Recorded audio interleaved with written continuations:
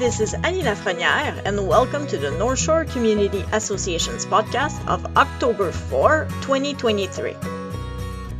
Today, Callan gives us a walkthrough of the updates on the COVID situation in Quebec as of fall 2023. Then we will cover community events and services in the Côte Nord.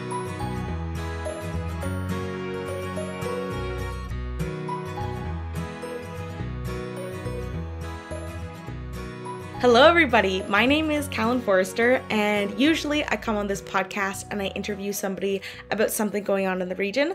But today I'm here to be a little bit of an information resource regarding COVID 19.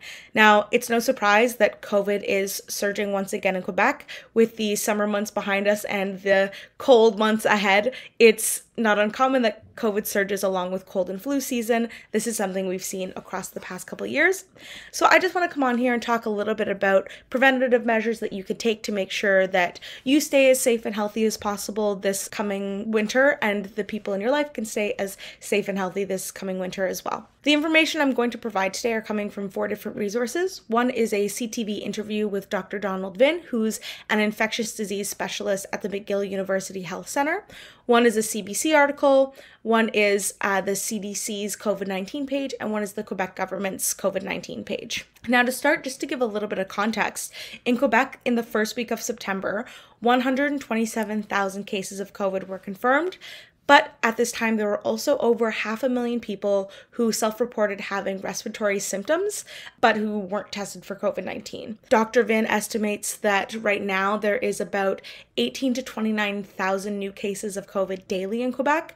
This is just an estimate, there's no way to be 100% sure, but these are the numbers that we're working with right now. There's also been a doubling in the number of hospitalizations that we're seeing with COVID related illnesses. With that being said, since the beginning of the pandemic, there has been a significant change in how sick people are getting with COVID. It seems like this new variant, once again, is not going to make you as sick as we are hearing about in those early days. However, it is still something that is making people quite ill and it can be debilitating, at least for the first few days. One of the reasons why COVID is surging again is because we're seeing a new variant. This variant is called the EG.5.1 variant, and as of right now, it's currently about 45% of detected cases in Quebec. The reason this variant is spreading so quickly is because though it is a subsection of Omicron and they are related, it is not exactly the same, which means that a lot of vaccines that people have already had don't necessarily prevent from this.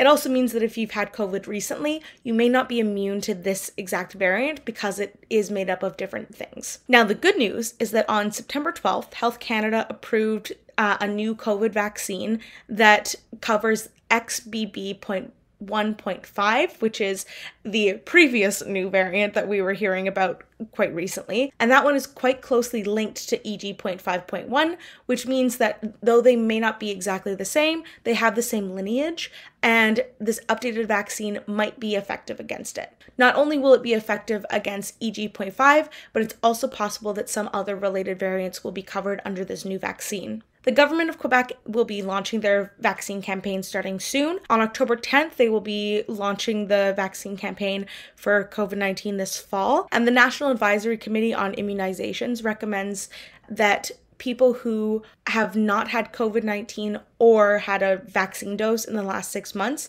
take the time to get this vaccine this year. The campaign will prioritize people in the vulnerable sector, as it often does, and Health Minister Christian Dubé says that the timing of this campaign is to be strategic to make sure that people feel the most protected between the times where uh, viruses like this are most prevalent, which is the months of December to March. Now, in terms of masking, Dr. Vinh explains that ideally, if you are symptomatic, you should stay home. Even if you are no longer symptomatic and you feel as though you've recovered, it's important to wear a mask for at least five more days when you are out in public. He also recommends that if you're going to be in a setting where there will be people who are sick, such as a hospital or some sort of healthcare environment, he recommends that putting a mask on is probably a good idea. Now, he also points out that there are sick people everywhere, not just in hospitals, and if you're going out in public, it is a safe idea to wear a mask, especially because we are now relying on the honor system of if you're sick, please stay home, and that isn't a 100% foolproof method. If you do come down with respiratory symptoms and you feel as though you may have COVID 19, it is important to test and make sure that you are taking the precautions to stop the spread as much as possible. Now, in terms of rapid testing, there are a couple places across Quebec where you can access them. One of the easiest places would be the pharmacies. Tests in pharmacies are reserved for certain demographics of people. Those are people who are considered for treatment of COVID 19 with, for example, Paxlovid. They're also reserved for people aged 14 to 17, full time students aged 18 to 25, and according to the website, people who receive free medication under the public drug plan, recipients of last resort financial assistance, and people aged 65 and over with low income. If you do not fall into one of those categories, they are also available in schools. Preschools, elementary, and high school students will be provided with tests so that they can um, test at home and have their family test if they are ever become symptomatic. They are also available in educational childcare services, in adult education centers, and vocational training centers. Some companies also provide for their employees, so it might be a good idea to ask your employers if that's something that they can provide.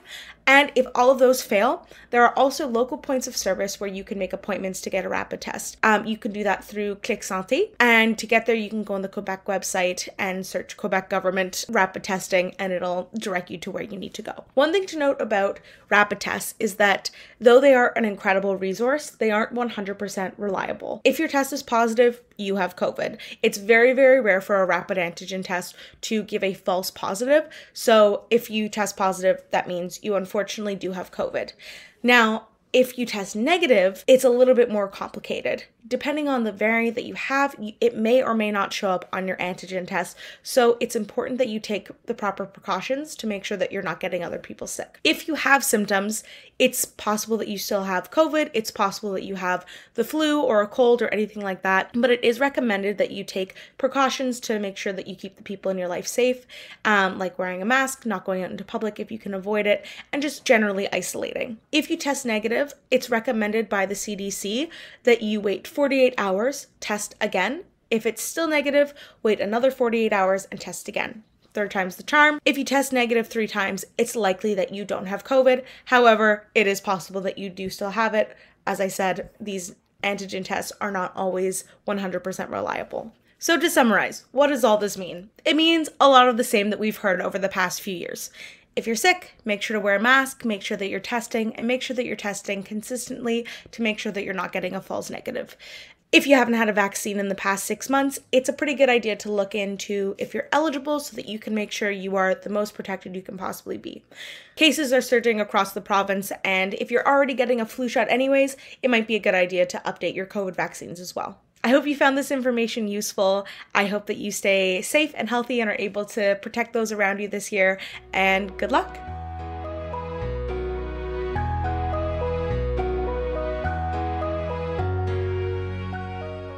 Did you know about one in five Canadians experience a mental illness each year? And more than half of struggling Canadians are not getting the mental health support they need.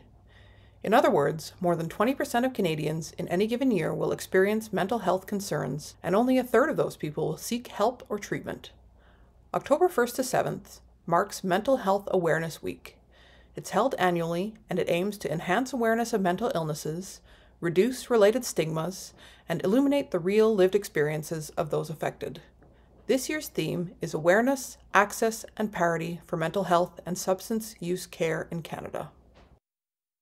Did you know Baie-Comeau has a 50 plus wellness group for the English speaking community? The NSCA's mission is to help our seniors stay informed, active, socially connected, and healthy. If you or someone you know like social games, crafts, going on excursions, participating in informative sessions on things like health, finances, and more, please contact Natalie at the NSCA in Baie-Comeau. Join Amber in Louis Ange Santerre Public Library in Sept-Îles on Saturday, October 14th at 10 a.m. for a fall themed story time. We will take a quick walk around the library if the weather is good, so please dress accordingly. There will be stories, autumn treasures, and fun. Contact the library to register. On Sunday, October 15th at 10 a.m., join Amber in Port-Cartier's public library, Le Manuscrit, for a Halloween story time. Come dressed up with your best, or worst, costume.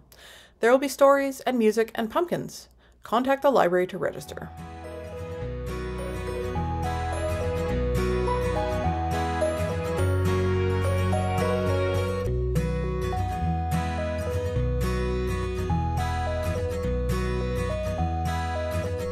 we would like to thank our sponsor for this podcast, the Secrétariat aux relations avec les Québécois d'expression anglaise.